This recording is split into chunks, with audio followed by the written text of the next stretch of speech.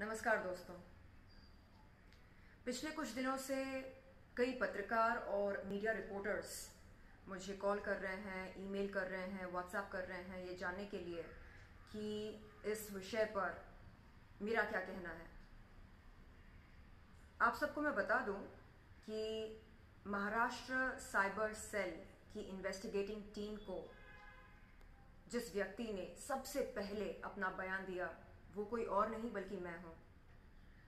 Maharashtra cyber cell की investigating team को, जिस व्यक्ति ने सबसे पहले आर्म्स प्राइम के बारे में जानकारी दी, वो कोई और नहीं, बल्कि मैं हूँ।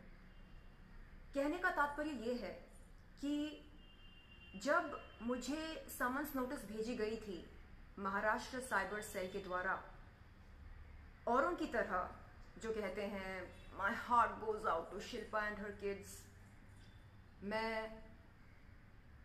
अंडरग्राउंड नहीं हुई, लापता नहीं हुई, गायब नहीं हुई। ये शहर या देश छोड़कर भागने की कोशिश नहीं की।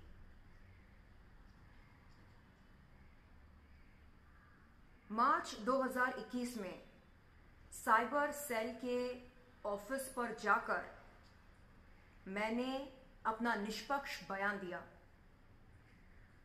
दोस्तों, इस विषय पर कहने को बहुत कुछ है, लेकिन क्योंकि ये मैटर सबजुडिस है, इसलिए इस पर टिप्पणी करना मेरे लिए अनुचित होगा।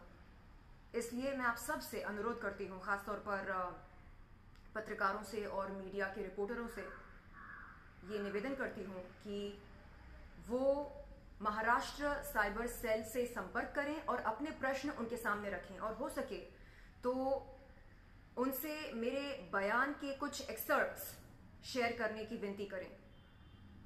धन्यवाद। जय हिंद।